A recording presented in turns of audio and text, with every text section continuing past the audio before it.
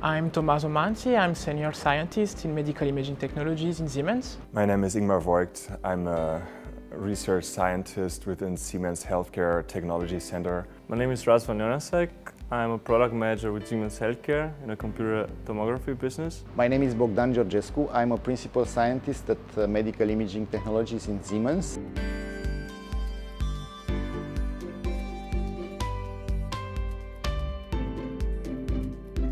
So the patent uh, proposes a system for planning of heart valve surgery.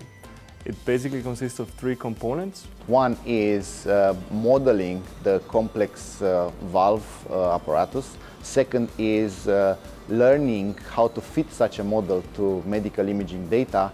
And third, it's how it functions and having models of how it functions. Having obtained this model from image data, you could uh, then simulate the, the outcome of the intervention, trying different alternatives. We wanted to build a system that would help the surgeon to plan what would be the best intervention for a specific patient. We are really the first in this field, so there was never a doubt that this is unique. Through uh, many discussions with uh, cardiac surgeons and uh, interventionalists that made us realize uh, how valuable this, uh, these ideas and these methods are. The goal of the patent is to bring quantification, to bring prediction, to help the clinician find out directly, even before opening the chest, directly what is the optimal strategy to treat that patient.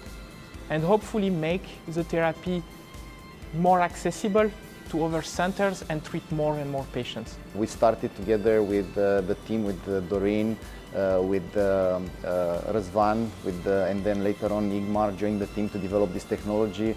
Then Tommaso joined the team bringing a lot of uh, the functional modeling, so the, the team grew over time.